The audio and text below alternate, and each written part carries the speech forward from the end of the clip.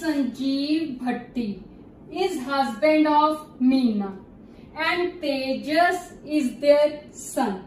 Shivam is son of uncle of Tejas and Bharti Disha are his sisters. How is Sanjeev Bhatti related to Shivam? ਹੁਣ ਦੱਸਣਾ ਹੈਗਾ ਕਿ ਸੰਜੀਵ ਭੱਟੀ ਯਾਨੀ ਕਿ ਜਿਹੜਾ ਫਰਸਟ ਕੈਰੈਕਟਰ ਹੈ ਉਹ ਅਖੀਰਲੇ ਕੈਰੈਕਟਰ ਸ਼ਿਵਮ ਨਾਲ ਕਿਵੇਂ ਰਿਲੇਟਡ ਹੈ ਠੀਕ ਹੈ ਜੀ ਤਾਂ ਸਭ ਤੋਂ ਪਹਿਲਾਂ ਸੰਜੀਵ ਭੱਟੀ ਨਾਲ ਸ਼ੁਰੂ ਕਰਦੇ ਹਾਂ ਕਿਉਂਕਿ ਉਹੀ ਆਪਣਾ ਮੇਨ ਹੈ ਠੀਕ ਹੈ ਜੀ ਸੰਜੀਵ ਭੱਟੀ ਲੋ ਜੀ ਠੀਕ ਹੈ ਹੁਣ ਸੰਜੀਵ ਭੱਟੀ ਕੀ ਹੈ ਹਸਬੈਂਡ ਆਫ ਮੀਨਾ ਤਾਂ ਆਰਿਆ ਮੀਨਾ ਦੇ ਯਾਨੀ ਕਿ ਇਹ ਹੋ ਗਿਆ ਹਸਬੈਂਡ ਤੇ ਮੀਨਾ ਇਹਦੀ ਕੀ ਹੋਗੀ ਵਾਈਫ ਦੋਵੇਂ ਹਸਬੈਂਡ ਵਾਈਫ ਹੋ ਗਏ and Tejas is their son ਤਾਂ ਦੋਵਾਂ ਦਾ ਬੇਟਾ ਕੌਣ ਹੈ ਤੇਜਸ ਹੈ ਸਨ ਇਹ ਦੋਵੇਂ ਪਤੀ ਪਤਨੀ ਹੈ, ਇਹਨਾਂ ਦਾ ਬੇਟਾ ਕੌਣ ਹੈ? Tejas. Shivam is son of uncle of Tejas.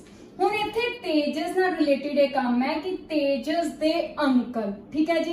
ਹੁਣ ਇਸ ਲਾਈਨ 'ਚ ਪਹਿਲੀ ਟਾਈਪ ਵਾਲਾ ਸਿਸਟਮ ਲੱਗ ਰਿਹਾ ਹੈ ਕਿ ਤੇਜਸ ਦੇ ਅੰਕਲ ਜਿਹੜੇ ਤੇਜਸ ਦੇ ਅੰਕਲ ਹੋਣਗੇ, ਉਹ ਉਹਦੇ ਫਾਦਰ ਦੀ ਉਮਰ ਦੇ ਹੋਣਗੇ, ਤਾਂ ਉੱਥੇ ਮੈਂ ਲਿਖ ਲਿਆ ਅੰਕਲ ਠੀਕ ਹੈ?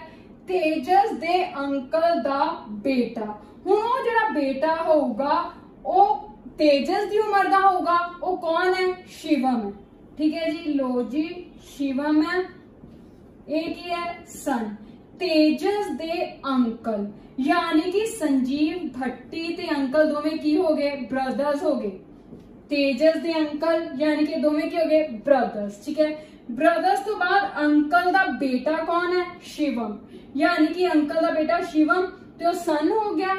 ਹੁਣ ਭਾਰਤੀ ਦਿਸ਼ਾ ਆਰ ਹਿਸ ਸਿਸਟਰਸ ਤੇ ਕਹਿੰਦਾ ਸ਼ਿਵਮ ਦੀਆਂ ਦੋ ਭੈਣਾਂ, ਇੱਕ ਹੈਗੀ ਹੈ ਦਿਸ਼ਾ ਤੇ ਇੱਕ ਹੈਗੀ ਹੈ ਭਾਰਤੀ। ਯਾਨੀ ਕਿ ਇਸ ਅੰਕਲ ਦੀਆਂ ਇੱਕ ਬੇਟਾ ਸ਼ਿਵਮ ਤੇ ਦੋ ਬੇਟੀਆਂ ਹੋ ਗਈਆਂ। ਉਵੇਂ ਸ਼ਿਵਮ ਦੀਆਂ ਦੋ ਭੈਣਾਂ ਦਿਸ਼ਾ ਤੇ ਭਾਰਤੀ। ਕਹਿੰਦਾ ਭਾਰਤੀਆਂ ਦਿਸ਼ਾ ਹਿਸ ਸਿਸਟਰਸ ਠੀਕ ਹੈ ਜੀ। ਹੁਣ ਸੰਜੀਵ ਭੱਟੀ ਤੇ ਅੰਕਲ ਦਾ ਕੀ ਰਿਸ਼ਤਾ ਹੈ? ਦੋਵੇਂ ਭਰਾ ਹੈ ਤੇ ਫਿਰ ਸੰਜੀਵ ਦਾ ਭਤੀਜਾ ਸ਼ਿਵਮ ਹੋ ਗਿਆ ਤੇ ਆ ਦੋਵੇਂ ਕੀ ਹੋ ਗਈਆਂ? ਭਰਾ ਦੀਆਂ ਬੇਟੀਆਂ, ਭਤੀਜੀਆਂ ਹੋ ਗਈਆਂ। How is Sanjeev related to Shivam. ਤਾਂ ਕਹਿੰਦਾ, ਸੰਜੀਵ, ਸ਼ਿਵਮ ਨਾਲ ਕਿਵੇਂ ਰਿਲੇਟਡ ਹੈ? ਤੇ ਕੀ ਹੋਊਗਾ ਇਹਦਾ? ਅੰਕਲ ਹੋ ਗਿਆ ਸੰਜੀਵ ਦਾ ਕੀ ਲੱਗਿਆ? ਸੰਜੀਵ ਦੇ ਭਰਾ ਦਾ ਬੇਟਾ ਭਤੀਜਾ ਲੱਗਿਆ। ਤੇ ਸੰਜੀਵ ਉਹਦਾ ਕੀ ਲੱਗਿਆ? ਅੰਕਲ ਲੱਗਿਆ। ਇਹ ਭਤੀਜਾ ਲੱਗਿਆ ਤੇ ਉਹ ਫਿਰ ਕੀ ਲੱਗਿਆ? ਅੰਕਲ, ਯਾਨੀ ਕਿ ਆਪਸ਼ਨ ਨੰਬਰ ਡੀ ਅੰਕਲ।